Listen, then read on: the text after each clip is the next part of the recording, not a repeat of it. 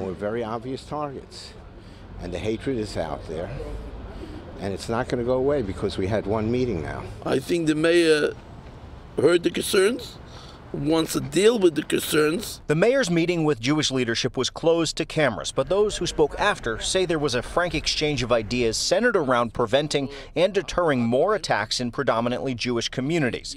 They requested more police presence, the teaching of acceptance in schools, and even tweaking the state's new bail reform law when it comes to suspected hate crime arrests.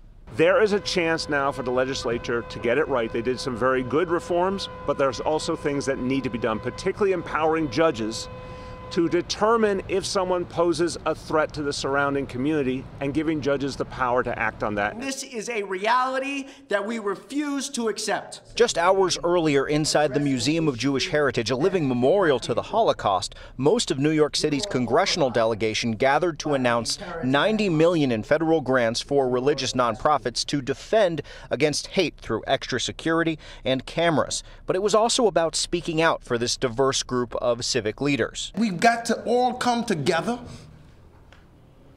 to make sure that we do everything, leave no stone unturned, to get rid of this cancer that is eating at our society.